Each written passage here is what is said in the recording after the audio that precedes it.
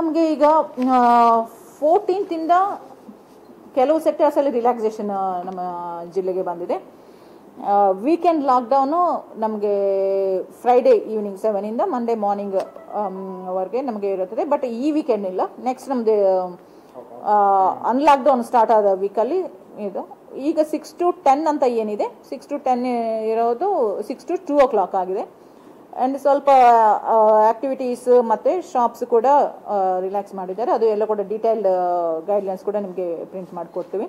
But ಮುಖ್ಯವಾದ difference ಒಂದು ಏನು ನೋಡ್ಬೋದು ಅಂದರೆ transportation public and private transportation railway ಸ್ಟೇಷನ್ಸಿಂದ ಮತ್ತು ಏರ್ಪೋರ್ಟ್ಸಿಂದ ಬಸ್ ಸ್ಟ್ಯಾಂಡ್ಸ್ಗೆ ಈ ಥರ ಪಾಯಿಂಟ್ ಟು ಪಾಯಿಂಟ್ ಇದು ನಡೆಸ್ಬೋದು ಬಟ್ ಅದು ಯೂಸ್ ಮಾಡ್ಕೊಳ್ತಾ ಇರುವವರು ಮಾತ್ರ ಅವರ ಟ್ರಾವೆಲ್ ಡಾಕ್ಯುಮೆಂಟ್ಸ್ ತೋರಿಸ್ಬೇಕಾಗ್ತದೆ ಅಂದರೆ ಅವ್ರದ್ದು ಟಿಕೆಟ್ ಅವರು ಹೊರಗಡೆಯಿಂದ ಬರ್ತಾ ಇದ್ದಾರೆ, ಇಲ್ಲ ಹೊರಗೆ ಹೋಗ್ತಾ ಇದ್ದಾರೆ ಅಂತ. ಯಾಕಂದ್ರೆ ಇದು ಬಳಸ್ಕೊಂಡು ಈಗ ಊರೆಲ್ಲ ಕೂಡ ಸುತ್ತಾಡ್ತಾ ಇರಬಾರದು ಜನ ಅಂತ ಅದು ಒಂದು.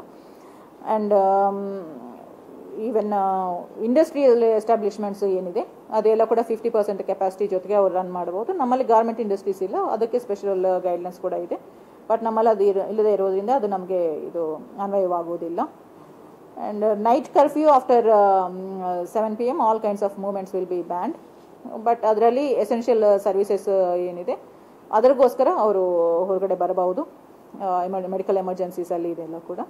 ಆ್ಯಂಡ್ ಈಗ ಹೋಮ್ ಡೆಲಿವರೀಸ್ ಇ ಕಾಮರ್ಸ್ ಇದೆಲ್ಲ ಕೂಡ ಏನಿದೆ. ಅವರು ಟ್ವೆಂಟಿ ಫೋರ್ ಬಾರ್ ಸೆವೆನ್ ಕೂಡ ಅವರು ಹೊರಗಡೆ ಮೂವ್ಮೆಂಟ್ಗೆ ಅದಕ್ಕೆ ಅವಕಾಶ ಇದೆ. These are the major changes ನಮಗೆ ಇಲ್ಲಿವರೆಗೆ ಇರುವ ಲಾಕ್ಡೌನ್ಗೆ ಮತ್ತು ಮುಂದೆ ಬರುವ, ಬರಬಹುದಾದ ಸ್ವಲ್ಪ ರಿಲ್ಯಾಕ್ಸ್ಡ್ ಇದಕ್ಕೆ ಇರುವ ವ್ಯತ್ಯಾಸ. ಈಗ ನಾವು ಅಗ್ರಿಕಲ್ಚರ್ ಇದು ಏನು ಹನ್ನೆರಡು ಗಂಟೆವರೆಗೆ ಅದನ್ನು ರಿಲ್ಯಾಕ್ಸ್ ಮಾಡಿದ್ರೆ it will be relax till two o'clock ಸಿಕ್ಸಿಂದ two ಓ ಕ್ಲಾಕ್ವರೆಗೆ